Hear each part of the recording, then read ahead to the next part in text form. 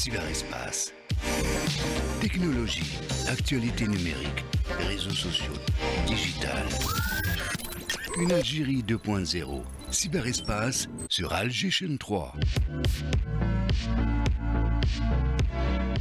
Samy, bonjour. Bonjour Hakim. Alors, euh, sur les réseaux sociaux, euh, il faut le dire, souvent, euh, notre doigt va un peu plus vite que notre cerveau. Très souvent. ben. Voilà, et on clique un peu sur n'importe quoi, on ne devrait pas, mais il faut dire que certaines vidéos sont faites de façon voilà, à ce que ça titille notre curiosité et on y va euh, sans simplement. réfléchir. Donc, on va parler de ces algorithmes un peu euh, qui prennent le contrôle des réseaux sociaux, de ces courtes vidéos, des algorithmes qui suggèrent du contenu selon ce qu'on a déjà consommé comme vidéo, autre, et c'est le principal facteur utilisé par les propagateurs de fake news.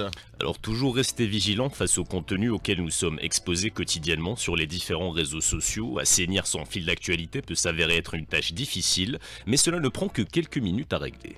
Que l'on soit amateur de cuisine, de musique, de sport, on a l'habitude de consommer tout type de contenu qui s'affiche l'un après l'autre, notamment sur les plateformes vidéastes telles que TikTok qui a apporté une nouvelle dimension au fil d'actualité.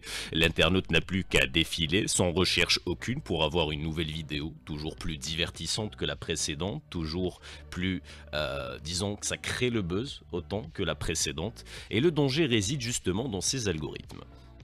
Des algorithmes qui décident du type de contenu affiché, le danger réside dans cette formule qui suggère automatiquement un contenu similaire au précédent, le piège dans lequel tombent de nombreux internautes en quête de buzz, de tendance, sans se soucier de la véracité de ce que l'on voit ou de ce que l'on entend. L'apparition de l'intelligence artificielle a rendu plus ou moins complexe le fait de différencier entre vrai et faux, pour cela qu'il ne faut pas croire à toute publication croisée sur le net ou sur les réseaux sociaux, toujours rester sur ses gardes et filtrer tout contenu indésirable, un réflexe qui peut s'avérer être utile avec le nombre de contenus mensongers, toxiques, qui rongent nos réseaux sociaux.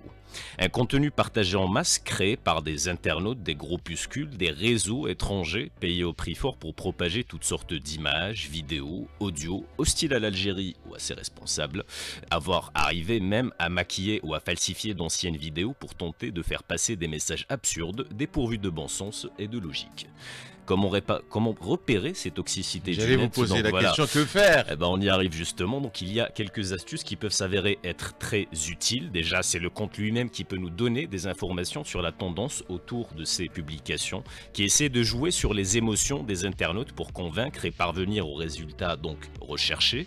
De l'autre côté, et avec un peu de recherche, c'est les mêmes drapeaux qui réapparaissent au sein de ces profils, euh, dans l'entité sioniste et le Marsen, qui sont les plus présents dans la plupart des publications hostiles à l'Algérie.